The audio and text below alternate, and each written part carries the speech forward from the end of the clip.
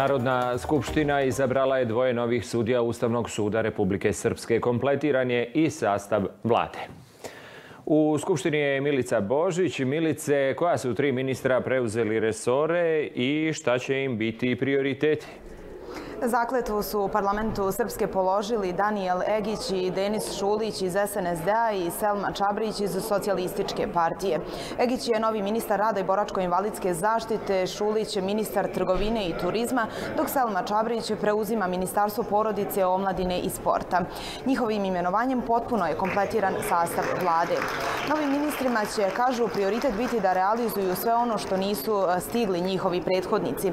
Uvjeravaju da će odgovorno obavljati ministarsku dužnost i raditi na unapređenju svojih resora. Na današnjoj sjednici poslanici su dali podršku i za imenovanje dvoje novih sudija Ustavnog suda Republike Srpske. Upravo ova tačka izazvala je najviše polemike u poslaničkim klupama. Detaljnije u prilogu Ajdina Cikote. Na predlog predsjednika Republike Srpske Radomir Lukić i Svetlana Brković izabrani su za sudije Ustavnog suda Republike Srpske. U poslaničkoj raspravi vladajuća koalicija dala je potpunu podršku njihovom imenovanju. Opozicija je osporavala izbor Lukića koji je jedan od tvoraca Ustava Republike Srpske. Iz vlasti posjećaju da je Lukić učestvovao i u stvaranju Dejtonskog sporazuma, a od nastanka Republike učestvovao je u njenom političkom i pravnom životu. Kao univerzitetski profesor predavao je građansko procesno i ustavno pravo. Trenutno je angažovan na katedri teorije države i prava Univerziteta u Istočnom Sarajevu. Ne bira se sudija Ustavnog suda po tome koliko je presuda napisao, nego možda po tome koliko je studenta naučio kako se pišu presude. Koliko je generacija i generacija studenta i upravo iz te oblasti, ali ne samo iz te, nego iz oblasti građanskog procesnog prava, iz oblasti teorije države i prava, izveo u život i na pravi put. Opozicija zamira što je profesor Lukić bio politički angažovan i što, kako tvrde, podržava vladajuću koaliciju. Smatraju da izvršna i zakonodavna vlast na ovaj način preuzima sudsku. Namjerno ili ne, zaboravljaju da je veći dio opozicije prije nepunu godinu digao ruku za sudiju Ustavnog suda koja je sjedila u SDS-ovim klupama.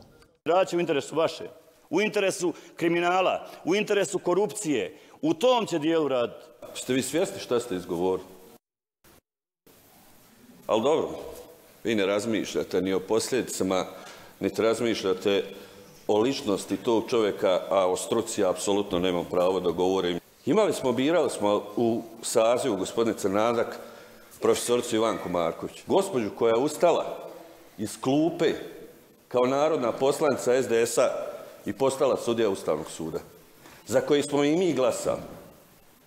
I sad, tada nismo raspravljali o politici, govorili smo o struci, tad politika nije bila važna, vi ste pljeskali, dali pohvale. Ni tu opozicija nije stala u osporavanjima sudije Radomira Lukića. Čovjek je jedan od govornika na mitingu SNSD-a. Gospodin Lukić nije govorio na mitingu SNSD-a, već na mitingu Sloboda, koju je organizovala boračka organizacija Republike Srpske. Ne znaju mladi poslanici koje je Radomir Lukić i njegov životni put. Ne znaju da je bio pravni savjetnik u delegaciji Republike Srpske u američkoj vojnoj bazi Wright Peterson u Daytonu T95. A ne znaju ni da je sa profesorom Gašom Janovićem pisao prvi ustav Republike Srpske. Da je Lukić prošao nepravdu, smjene i političke torture međunarodnih organizacija u BiH, posjetio je predsjednik Narodne skupštine Nenad Stevandić. Smatra da je izbor Lukića za sudiju Ustavnog suda Republike Srpske zato i značajan. Pokazujemo da smo kadri, da dugo izdržimo na državotvornoj ideji i da ljude koji su ne, nečovječno uklanjani od strane međunarodne zajednice vraćamo na veći pijedestal nego na kojem su bili kad su skidani. Parlament je imenovao i ministre rada i boračko-invalidske zaštite, trgovine i turizma i porodice omladine i sporta. Tako je kompletiran kabinet premijera Radovana Viškovića. Predložio sam da se za ministra rada i boračko-invalidske zaštite u vladi Republike Srpske izabere Daniel Egić, da se za ministra porodice omladine i sporta izabere Selma Čabrić i da se za ministra trgovine i turizma izabere Denis Šulić.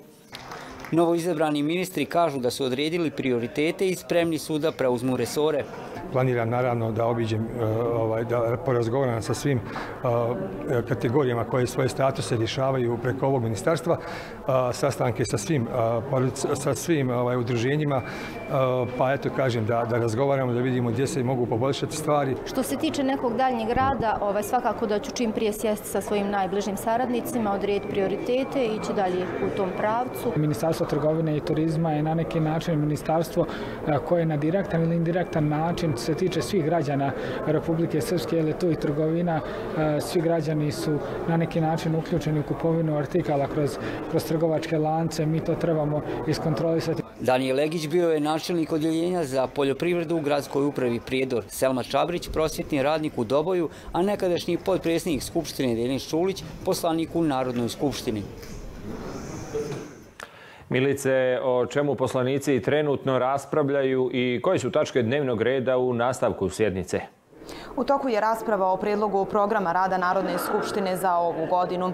Po hitnom postupku pred poslanicima će se naći predlog, um, predlog zakona o posebnom registru lica pravosnažno osuđenih za krivična dijela seksualno zloupotrebe i iskorišćavanja djece, kao i predlog zakona kojim Prnjavor dobija status grada.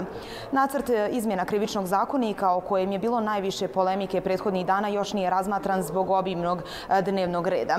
Prije početka sjednice grupa kluba novinara Banja Luka, koja je ogranak udruženja BH novinara ispred zgrade Narodne skupštine, zaprijetila je da će objaviti imena i prezimena svih poslanika koji dignu ruku za kriminalizaciju klevete i uvrede.